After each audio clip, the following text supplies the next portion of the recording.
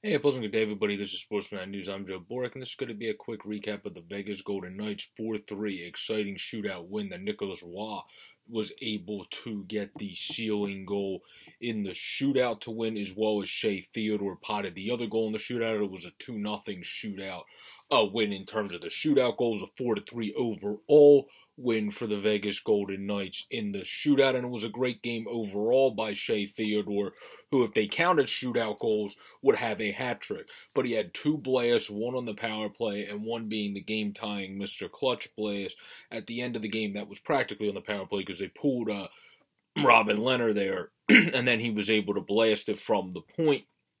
Now, the only bugaboo in this game for the Vegas Golden Knights was the one goal Lehner allowed. You could tell he wanted back that Kiefer Bellows was able to score. It was also after a turnover that Zach Parise was able to get to Bellows. And then uh, was just not guarded at all in front of the net as Wahlstrom was able to claim the puck behind the net, um, where Anders Lee was able to get an assist on that as well as Pageau was able to score. But minus those two things, the Vegas Golden Knights pushed the pace, I thought, and had the better end of the bigger chances in this game when it came to getting it done. And then their other goal was the goal that just was fortunately ended up going off of, I believe it was McNabb's skate. And then uh, Brock Nelson was able to score, which is what tied it up after Marchessault scored from an odd angle. That was probably a goal that Sorokin would want back because it was on a rebound and it was on a strange angle. Nice job by Marchessault to be able to get it accurately on net but not necessarily the best job at guarding the post and the angle by the goaltender. And then, of course, like I said, Theodore blasted one, and their other goal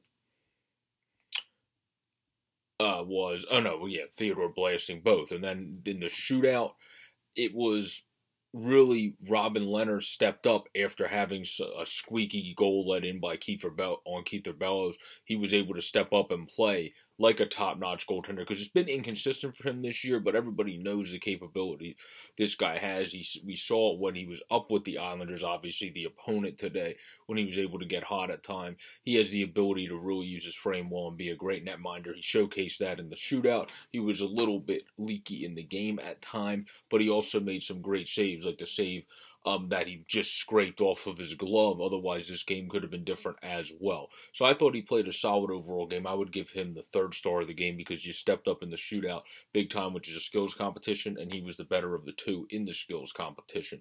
As it comes to the first star of this game, that's going to be obvious. That's Shea Theodore. Uh, the second star of this game. I'm I would just give it to because he look he was buzzing all around the ice as well.